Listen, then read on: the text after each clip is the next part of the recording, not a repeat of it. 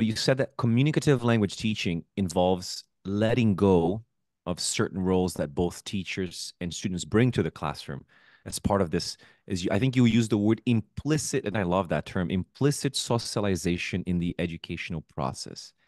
Teachers often assume too much responsibility in language teaching and students often assume too little.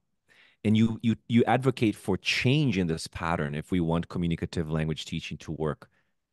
What's the first step for a teacher in the classroom and then for the students and then for the institutions okay the first step for a teacher is to get rid of what we call the atlas complex which is i'm responsible for everything that happens in the classroom and i'm responsible for my students success First thing is stop calling them students, start calling them learners.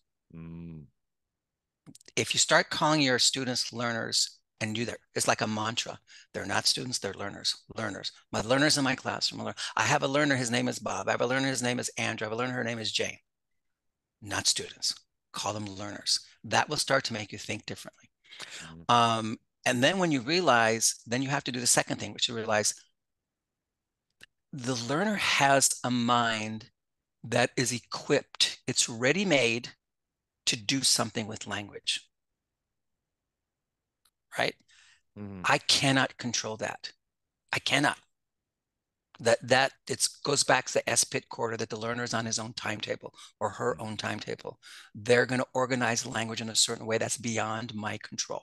I've got to accept that. So that's a second step, understanding that basic, basic thing about language acquisition.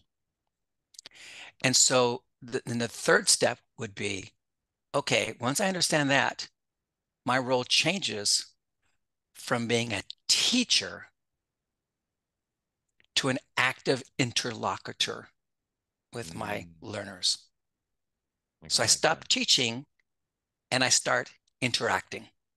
So the first step, I forget what the first step was already. Um, the uh, first step was Atlas complex. Get rid of the, the Atlas getting complex. Rid of, get, getting rid of the Atlas complex and thinking you're responsible for everything.